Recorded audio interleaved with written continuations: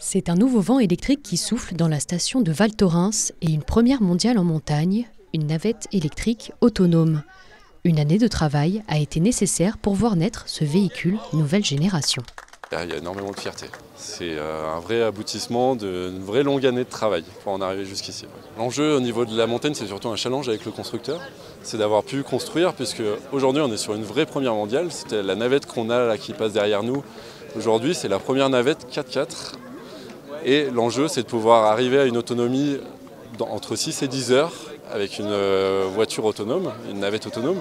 Et on sait qu'aujourd'hui, les batteries, c'est compliqué quand il fait frais. Donc, on est sur une vraie expérimentation, un vrai challenge, euh, une vraie belle aventure.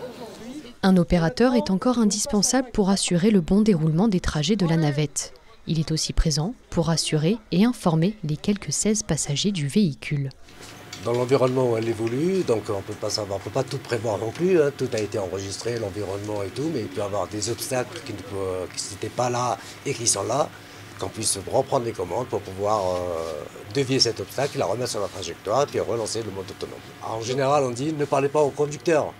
Tandis que là, ça sera l'inverse. Posez-lui des questions, il se, fera un plaisir de vous répondre sur l'explication de la navette ou l'autonomie, le projet qu'on a, euh, voilà. Des capteurs reliés à une base GPS et un mapping de la zone permettent à la navette de circuler. Le projet a tout de suite séduit la station qui a contribué à son financement. Petit à petit, euh, on va améliorer le, service, on va voir ce qui fonctionne euh, bien, ce qui fonctionne euh, moins bien, parce qu'on va faire des essais dans toutes les conditions, avec des conditions avec beaucoup de neige, avec du vent, avec des conditions un petit peu extrêmes, voir si ça fonctionne parfaitement.